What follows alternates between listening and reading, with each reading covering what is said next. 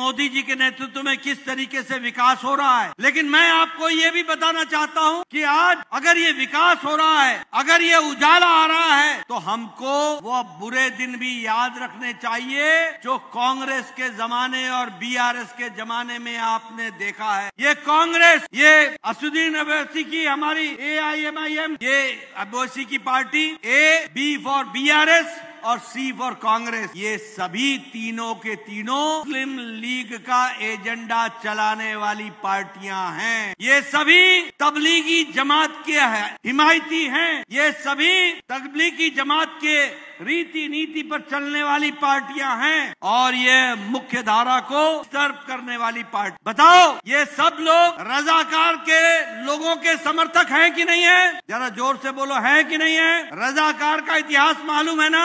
ये ओबेसी की पार्टी रजाकार की समर्थक रही है ना? कांग्रेस इसका समर्थन करती है ना? और बीआरएस इनके साथ गले मिलकर के चलती रही है ना? ये सब मुस्लिम लीग, तबलीगी जमात के साथ के चट्टे बट्टे हैं।